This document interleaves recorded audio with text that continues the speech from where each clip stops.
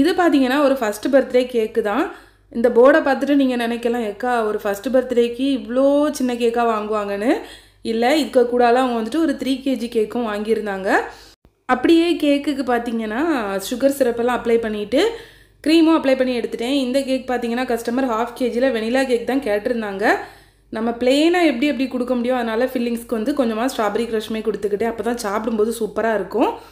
கேக்கோட final look பார்த்தீங்கன்னா இப்படி தாங்க இருந்துச்சு. கஸ்டமர் வந்துட்டு எந்த ஒரு மாடலுமே கேட்கல இந்த மாடல் பார்த்தீங்கன்னா ரொம்ப நாள் முன்னாடி இன்ஸ்டாகிராமில் இருந்து டவுன்லோட் பண்ணி எடுத்து வச்சுருந்தேன். எப்போவாச்சும் ட்ரை பண்ணலான்ட்டு இப்போ தான் அதை ட்ரை பண்ணதுக்கு வாய்ப்பு கிடச்சிது.